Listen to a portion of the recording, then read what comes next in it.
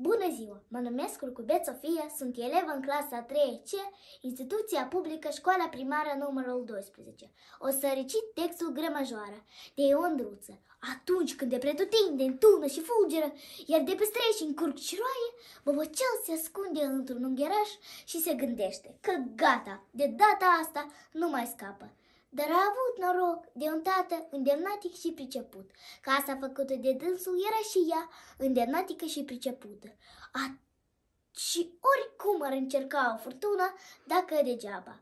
Atunci când vine iarna cu gerul, cu friguri mari și că îngheață copacii în grădină, îngheață vremile sub streșii. Băbăcel se face ghem în fundul cuptorului și își zice că gata, de data asta nu mai scapă, dar las că scârție îndelung portița și se aud pași în grădină.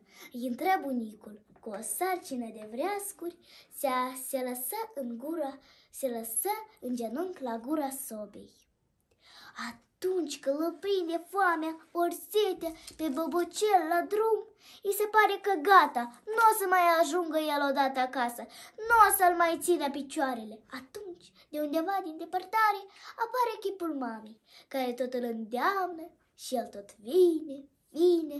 Atunci când se lasă amurgul și casa lor e numai umbre, pe băbocel îl prinde amăcina un fel de tristețe.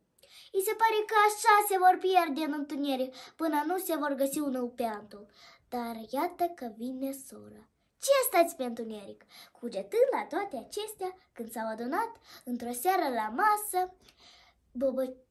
și așteptau ca mama să răstoane mămălicuța, Bobocel a zis, Mare lucru când oamenii trăiesc așa, grămăjoară, la care tata a râs în gura mare și a zis. Apoiar o Fernandes quer pode